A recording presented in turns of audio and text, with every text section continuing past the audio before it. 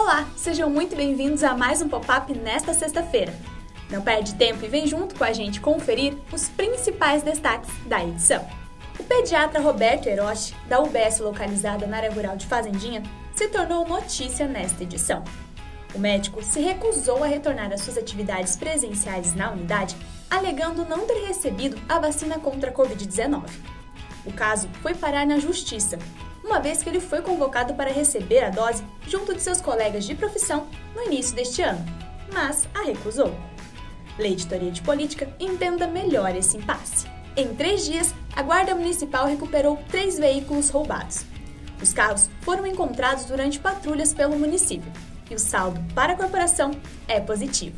Acesse o popularpr.com.br e saiba como foi o trabalho da GM. Márcia Aparecida dos Santos, de 50 anos, foi a primeira vítima fatal do coronavírus no município. Nesta edição, um ano após sua morte, conversamos com Gabriele, filha de Márcia. Leia Popular e confira o relato emocionado da jovem.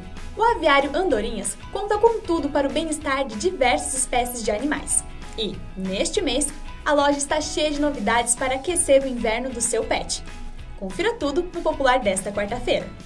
Em busca do nocaute, o lutador araucariense Carniça intensificou seus treinos para a final do GP Nação Cyborg, que acontecerá no dia 9 de julho.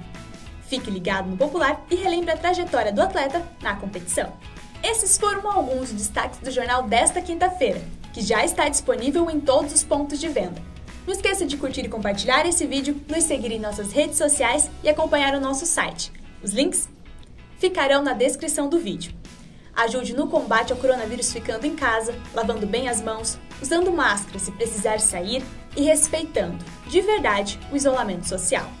Jornal O Popular, especialista em araucária. Até a próxima!